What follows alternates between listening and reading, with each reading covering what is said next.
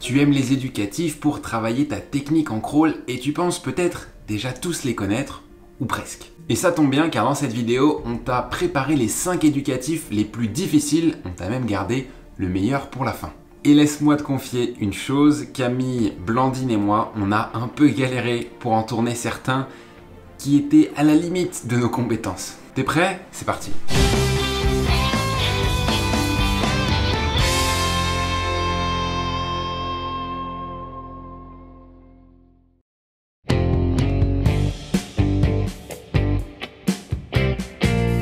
Ce premier éducatif, il s'agit de positionner une plaquette sur le dessus de la tête. L'idée est simple et ça va surtout te permettre de travailler trois éléments importants. D'abord, la position de la tête et l'orientation du regard, parce que si tu as la tête trop redressée, la plaquette ne va jamais tenir. Deuxièmement, la fixation de la tête. Si ta tête oscille de gauche à droite, la plaquette va s'échapper. Et enfin, peut-être le plus difficile, l'orientation du regard au moment de la respiration. On a souvent ce défaut de relever la tête au moment où on respire. Là, ça va t'inciter à conserver un bel alignement entre la tête, le tronc et le bassin et à vraiment seulement pivoter la tête sur le côté pour respirer.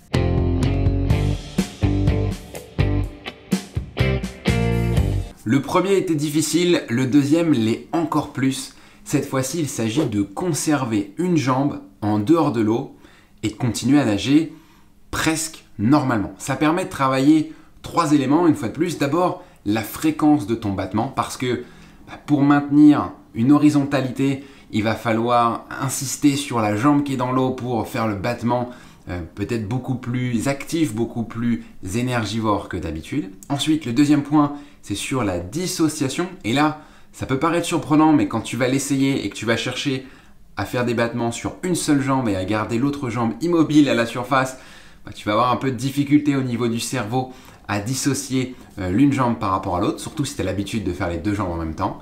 Et puis le troisième point, ça va inciter à euh, travailler ton horizontalité, à chercher à maintenir le bassin à la surface malgré l'handicap d'avoir une jambe en dehors de l'eau qui naturellement incite l'ensemble du corps à couler, particulièrement les membres inférieurs. Ça, c'est un exercice qui est particulièrement adapté aux sprinters, à ceux qui veulent développer euh, leur battement puissant, propulsif et avec énormément de fréquence. Et si tu aimes les éducatifs et que tu en veux davantage, Camille t'a partagé ses exercices préférés qu'elle a réunis dans une boîte d'exercices pratiques qui sont beaucoup plus faciles et que tu vas pouvoir pratiquer euh, pour développer ta technique en crawl. Tu peux les télécharger gratuitement juste ici ou dans la description.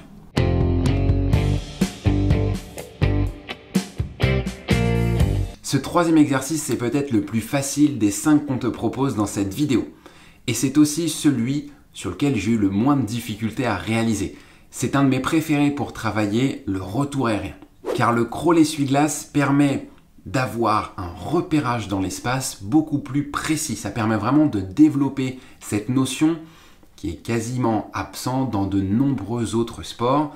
Ici, tu vas pouvoir travailler ton retour du bras dans l'axe et ressentir la différence entre un retour aérien désaxé et un retour aérien plus maîtrisé, plus contrôlé. Mais c'est pas seulement l'intérêt numéro un, puisqu'il va te permettre aussi de travailler sur ta dissociation segmentaire, c'est-à-dire d'être capable avec ton cerveau de sortir d'un automatisme pour basculer vers euh, quelque chose de nouveau dans lequel un bras va faire un mouvement et l'autre va faire un mouvement qui est complètement différent ou rester immobile. Enfin, dernier avantage et pas des moindres, il permet de travailler ton équilibre en position costale. Et ça tombe bien parce qu'en crawl, Finalement, si on devait résumer cette nage, il s'agit simplement de passer d'une position costale à l'autre. tu as plutôt intérêt à être très bon au niveau de ton équilibre en position costale.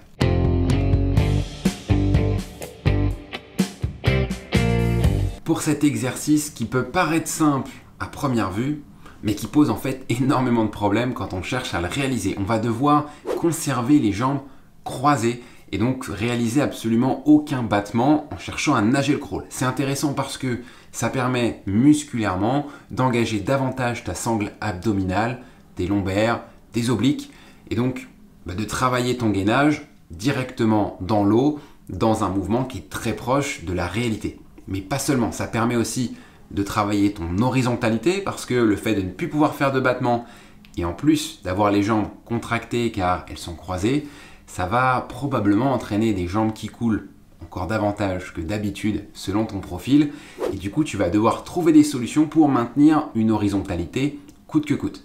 Enfin, puisqu'il n'y a pas de battement, ça va également améliorer ton équilibre latéral ou ton roulis parce que s'il est mal réalisé, ce qu'on va certainement vivre, toi et moi, quand on va le réaliser, c'est du lacet. C'est-à-dire qu'on va avoir les jambes et le bassin qui zigzaguent de gauche à droite.